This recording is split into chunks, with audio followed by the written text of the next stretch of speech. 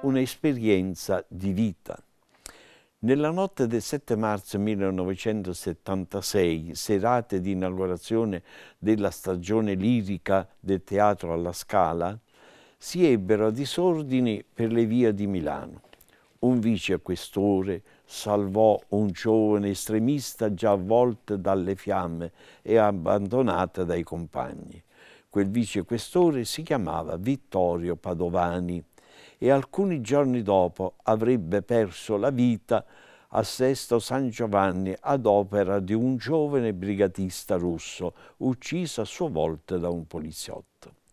Sono sicura, dice la vedova signore Mirella, che se fosse sopravvissuto non avrebbe provato nessun sentimento di odio per il giovane che gli aveva sparato.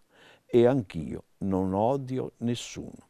Durante la veglia funebre, la sorella suora, recitando il rosario, offriva una decina per il fratello e l'altra per l'uccisore. L'episodio riportato ci fa vedere due modi di vivere il battesimo.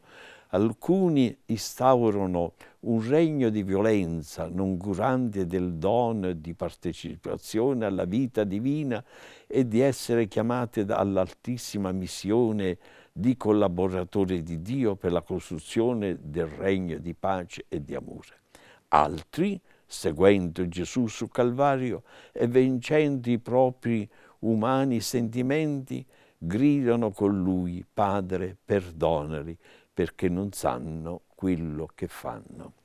La Santissima Trinità dona ai battezzati la grazia santificante che lo rende capace di credere in Dio, di sperare in Lui e di amarlo per mezzo della virtù della fede, della speranza e della carità. Mediante il battesimo la nuova creatura può chiamare Dio col dolce nome di Padre, Abba Padre. La culla è fonte del battesimo.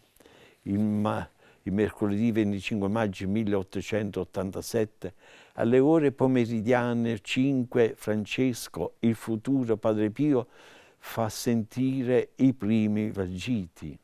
Zio Orazio racconterà che erano in campagna quando la sua consorte le fece capire che era giunto il momento del parto.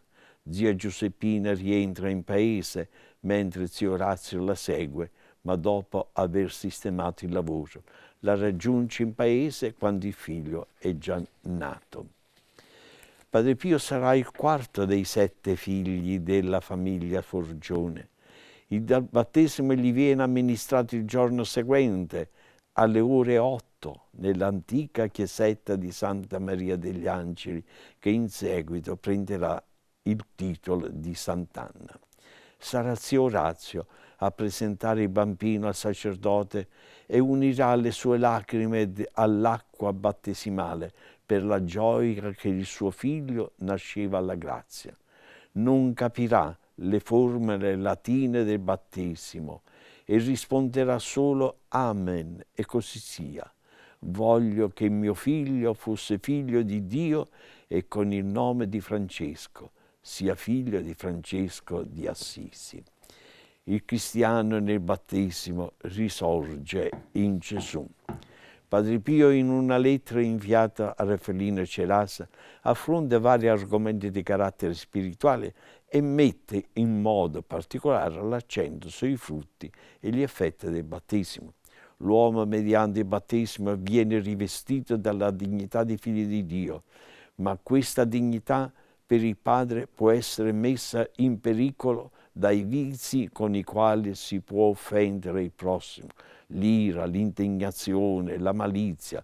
Nasce così la necessità di un impegno costante di spogliarsi dell'uomo vecchio. Anche noi, Padre Pio, anche a noi Padre Pio rivolge l'esortazione riportata nella lettera del 9 novembre o stolto, rientra in te stesso, rammentati che tu sei battezzato e hai rinunciato al mondo e sei per lui un morto. Lo Spirito Santo che parla per bocca di, un, un pa di Paolo te lo dice, siete morti al mondo e la vostra vita è nascosta con Cristo in Dio.